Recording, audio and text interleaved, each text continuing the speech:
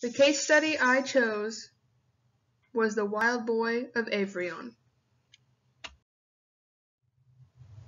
The neurological condition is speculated to be autism spectrum disorder. The wild boy of Aveyron was found around the age of 11 or 12 near a French village during a cold winter night. It is thought that he had been in the wild since he was around 4 or 5 years old. The villagers had noticed a wild boy for several years around the village. They took him in, but he did not seem to want the cooked food, blankets, or beds they offered. He escaped from them twice, only to be captured again. The third time they kept him for several months, until he was taken to an institute.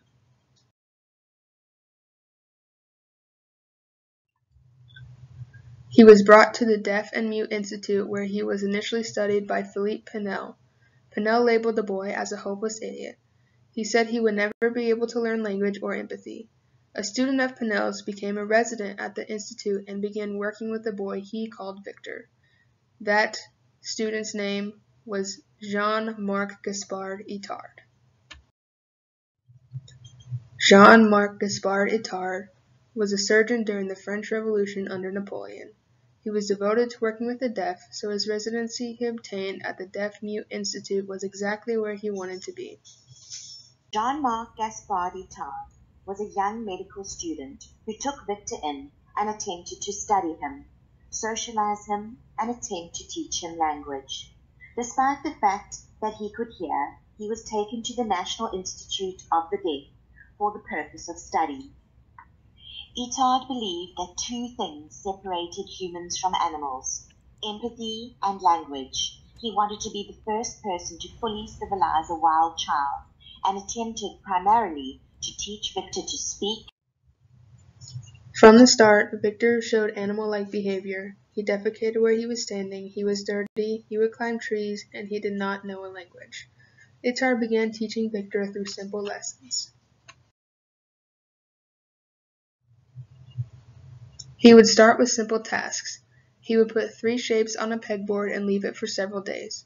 Then he would take them off and have Victor put them back where they belong. Eventually he was able to do the task with no mistakes, so Itard made the task more and more difficult until Victor could do the most difficult tasks with no mistakes.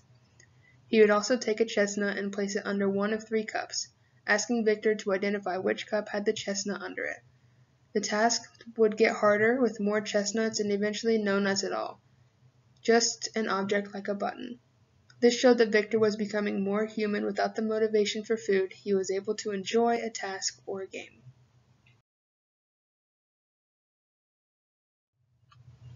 Since Victor had been alone in the wild since around four or five years old, he had to learn everything from scratch. A quote I read said, combining exploration and instruction, they not only enhanced those sensorial experiences by stimulating interactions with the outside world of objects and other people, but also introduced the boy to the meaning of things.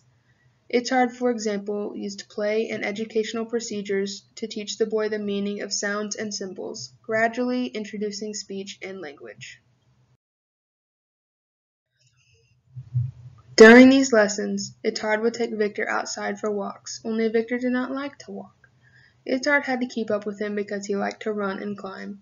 Itard found that exposing Victor to the civilized world without allowing him some freedom to be in the fields caused him more distress than anything.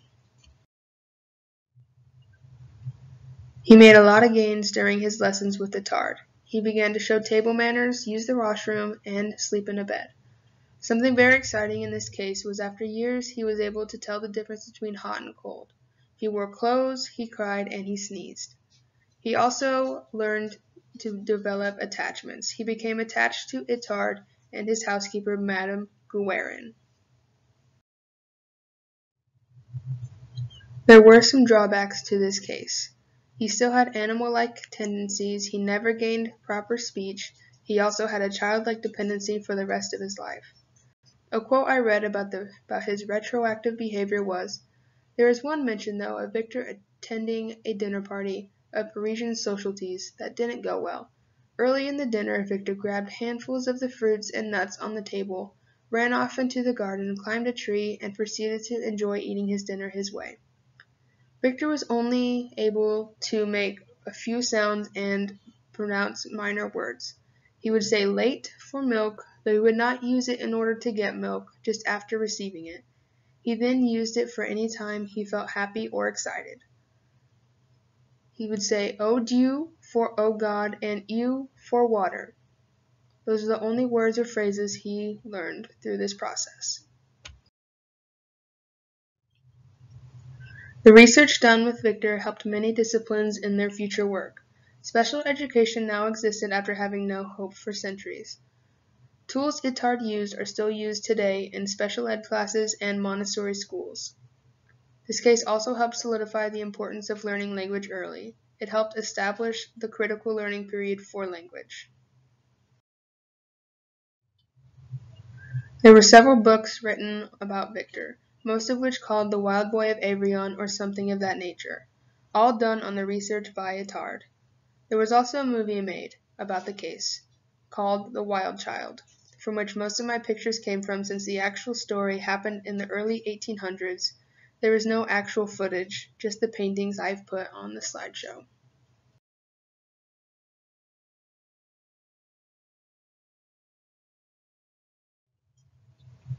Thank you. I hope you have enjoyed my take on this case.